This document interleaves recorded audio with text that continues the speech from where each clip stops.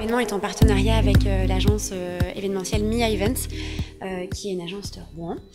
nous avons rencontré donc Jennifer et Manon il y a peu de temps, qui sont venus vers nous justement par rapport à cet événement-là, dans le but de proposer un vide dressing éphémère, donc qui durera 15 jours, par blogueuse, Instagrammeur, etc.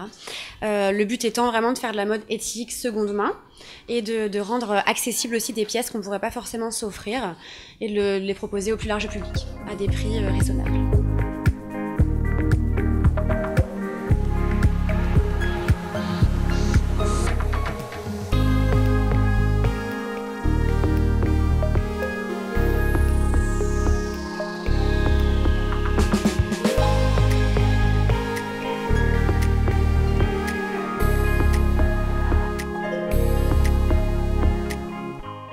Je trouvais ça sympa, je trouvais que ça me permettait de me rapprocher de ma communauté, de pouvoir les rencontrer euh, pendant une soirée euh, d'inauguration.